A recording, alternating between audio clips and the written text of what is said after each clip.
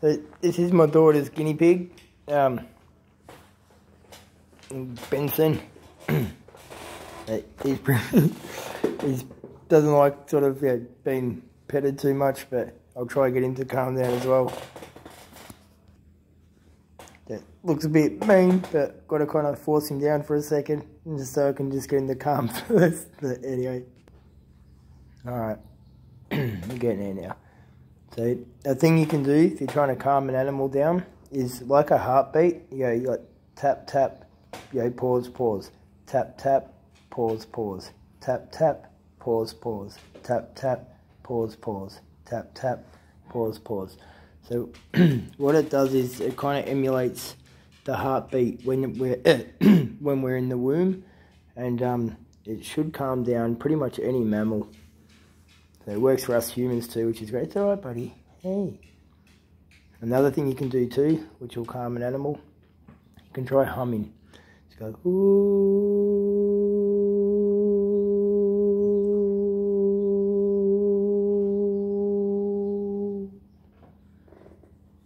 And then just try to send the animal some like love and calm energy.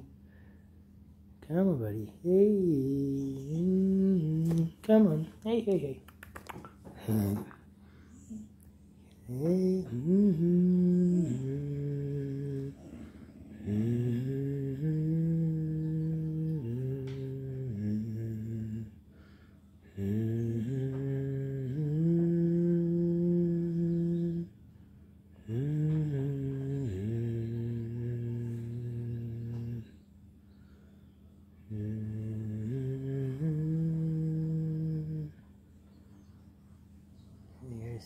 down a bit. The thing I love with guinea pigs their cute little feet. Look at that.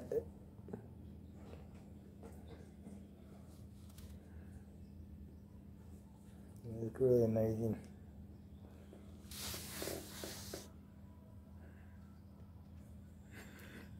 Mm-hmm. Hang on, Richard.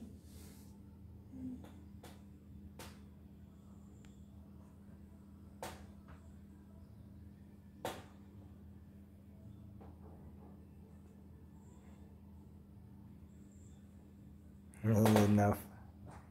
Enough now, is that good? Yeah? Come on, you right? Up, up. There you go.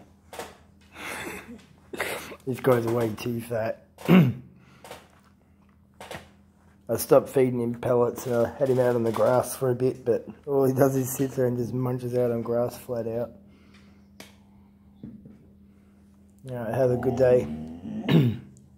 Go try to calm down an animal. It's good fun. Hang on, Richard. I've got to go calm. Hey, excuse me. Have a good afternoon.